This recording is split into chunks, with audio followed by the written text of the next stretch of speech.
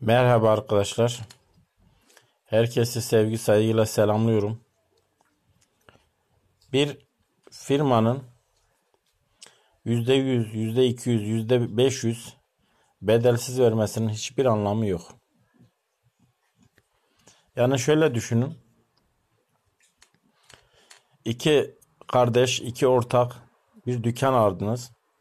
100 bin liraya. Her biriniz bir hissesi var ve değeri 100 bin lira. Yani her birinizin hissesinin değeri 50 bin lira oluyor. Aradan 2 yıl geçti. Türkiye'de emlak fiyatları sürekli artıyor. Dükkanınızın değeri 200 bin lira oldu. Ne yapıyorsunuz?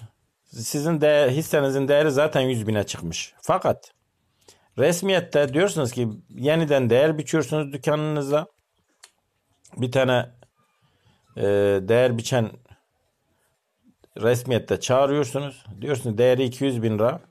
Biz bedelsiz sermaye artırımına gideceğiz. Ha, o zaman ne oluyor? Her birinizin 100 bin lira olan hissesi bir hisseniz ikiye bölünüyor. Bu sefer yine 50 bin lira oluyor. Ama değişen hiçbir şey yok. Dükkanınız yine aynı dükkan. Elinizdeki hisselerin sayısı sadece bir yerine iki oluyor. Yani bir firma Türkiye'de bedelsiz açıkladığı zaman bir hücum oluyor. Bir yukarı çekiyorlar. İşte o da yatırımcılarımızın cahilliğinden kaynaklanıyor. Yani bedelsizin hiçbir mantığı yok ki. Ne diye yani bedelsiz veriyor diye ne diye alınıyor ki?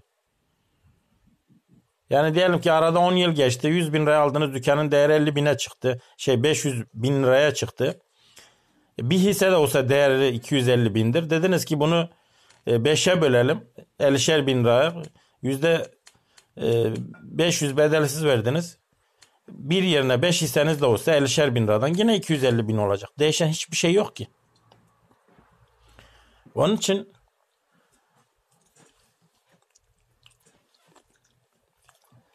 bir hissenin bedelsiz vermesi hiçbir getirisi yok, hiçbir mantığı yok. Biri ise kar ediyorsa, karları artarak geliyorsa iyidir, alınır. Değilse hiçbir anlamı yok yani. Yatırım tavsiyesi değildir.